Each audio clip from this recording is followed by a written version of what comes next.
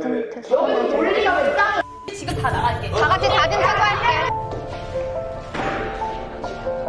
현재 머니게임과 진용진을 살린 정국진의 충격적인 폭로가 터져서 화제가 되고 있다.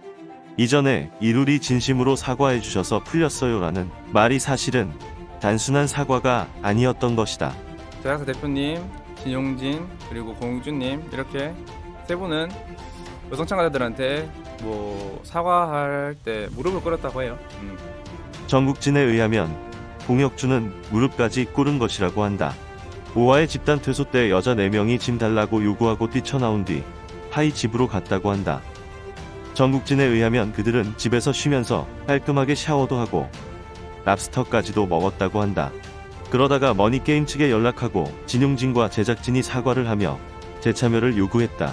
그런데 여자들은 공혁준에도 화가 나서 공혁준에게도 사과를 요구하여 셋이 무릎 꿇고 사과를 했다고 한다.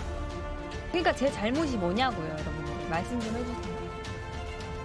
여성 참가자들이 집단 퇴소했을 때 남자 참가자들은 근처 모텔에서 쉬고 있고 이것까지 폭로가 되면 여성 참가자들 피해가 너무 클까봐 진용진이 망설였는데 정국진이 패를 오픈한 것이다. 그리고 5화 업로드가 늦어졌는데 단순 편집 문제가 아니고 하이가 편집에 개입을 해서 정기가 했던 정신병자 발언을 추가하라고 요구했던 것이다.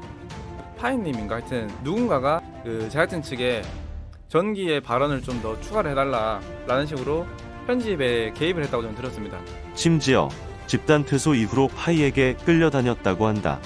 정기도 어떻게 알았냐는 반응이고 공혁준도 본인이 날아갈 줄 알았다고 해서 무릎을 꿇었다고 한다. 공혁준은 방송을 살리고 게임을 열심히 하려고 욕먹을 거 알면서 정보를 샀는데 퇴소된 여자 4명 때문에 무릎 꿇고 사과하고 복귀하고 6번이 이번한테 앞담화를 해도 웃으면서 같이 자기 욕하고 넘길 정도의 대인배였던 것이다. 탈락했지만 가오가이랑 웃으면서 술 먹고 친해지고 나중에 여자애들 민심이 날아가니까 전기와 함께 세탁기까지 해준 것이다.